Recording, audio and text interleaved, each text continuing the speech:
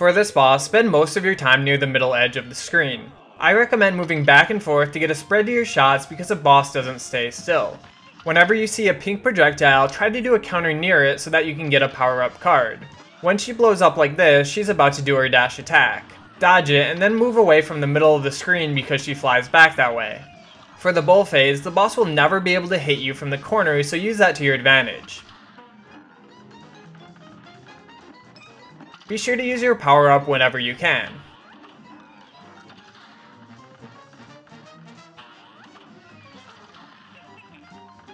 When the boss fires a tornado at you, wait to dodge it until it gets to the middle of the screen, otherwise it can trap you.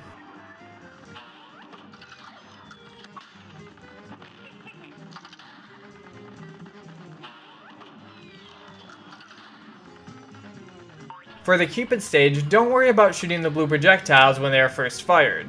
Just circle around them until you either shoot them on accident or they just disappear.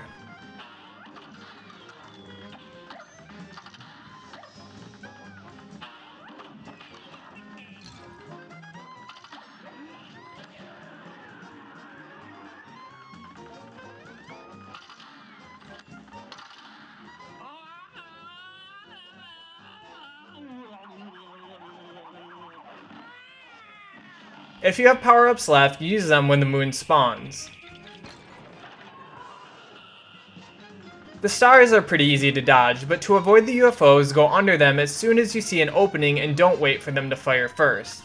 This way, you won't get trapped at the edge of the stage and get hit by a beam.